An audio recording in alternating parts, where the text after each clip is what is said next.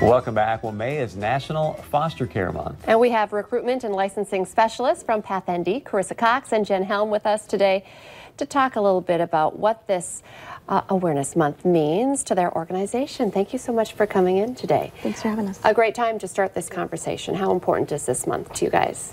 Um, National Foster Care Month is really um, important for us. Um, we it's kind of twofold. We like to celebrate our foster parents because without foster parents, PATH wouldn't be here. They're kind of the bread and butter that um, makes PATH run. Um, they're the ones that do the majority of the work with our kids in our foster homes, and so we're just really thankful for having foster parents. And along with that, May um, is a good opportunity for us to really spread awareness about the need. Um, in the state of North Dakota, there is over 1,500 kids in foster care or other out-of-home placements. Um, PATH serves about uh, 240 of those kids, but the number that really stands out is there's about 86 kids currently waiting for a treatment foster home. So um, really, um, it's important to spread um, awareness about that need for more foster parents. So, what can people in our community and state be doing to help out?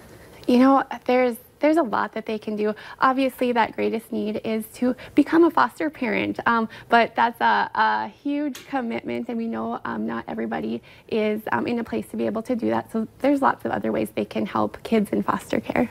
Um, they can go on Facebook and like some of our events.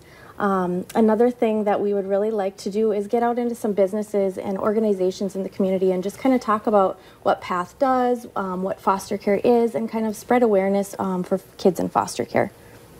And sometimes it's just starting the process by asking questions if people at home are thinking, well, I've always kind of been interested, not sure if I'm ready, because that's fair to say you're not ready, but you can't start or know if you're ready until you to reach out and ask some questions. Absolutely. Yeah. And we always say just give us a call if the thought has just crossed your mind. Um, it doesn't hurt to call and just get some of those initial questions answered. Um, we'd be more than happy to sit down and meet with folks to do so.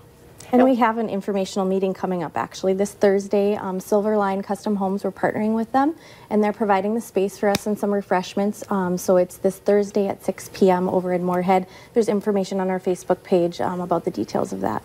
That's great. And I was going to say that we have not only talked to foster former foster kids, we've talked to foster parents, and the foster parents sometimes they feel like they are getting just as much as the kids. Mm -hmm. So mm-hmm. can you talk a little bit as to what you hear from foster parents once they say, yes, I'm going to do this? Um, a lot of foster parents just talk about how rewarding of an experience it is. Um, there's a lot of trying and hard times too. Um, but they really, the things that stick out to them are the things that they've done with kids, the difference that they've made, the progress that they've seen kids made. Um, and then when kids get to go home to their parents and they see that family come back together again, um, it's just a really great experience for them. And our foster parents, those are the people on the front line doing that very therapeutic work with the kids, and they often um, don't get recognized like they should. So that's really what we like to do in May is emphasize um, how great they are. Good for them. Yeah, and I was going to say, when we've talked to parents, what you got, you're saying thank them, but they thank all of the services that they have supporting them as well, because that's in place, right? They're mm -hmm. not mm-hmm. alone. Absolutely. At PATH, we take a lot of pride in the support that we can offer our foster parents. Um, they're definitely not alone.